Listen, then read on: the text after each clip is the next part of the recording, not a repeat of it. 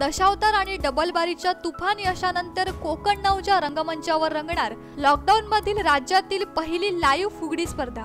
रविवार दिनांक दोन ऑगस्ट दोन हजार वीस रोजी सायंकाळी सात वाजता कोकण नऊच्या युट्यूब चॅनलवर लाईव्ह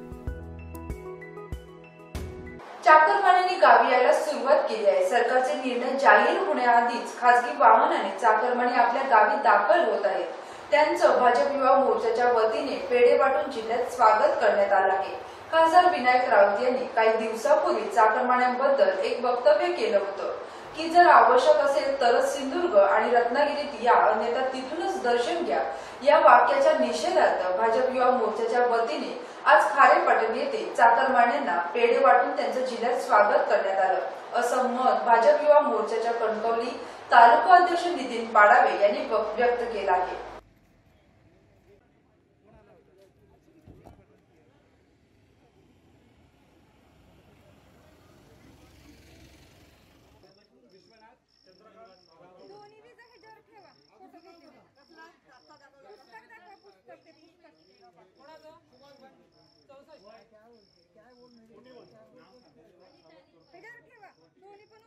विनायक राऊत यांनी दोन दिवसापूर्वीच एक वक्तव्य केलं होतं की मुंबईत स्थिर जे असणारे चाकरमानी त्यांनी कोकणात न जाता मुंबईतच राहून आपलं गणेश चतुर्थीचा जो सण आहे तो तिथूनच साजरा करावा.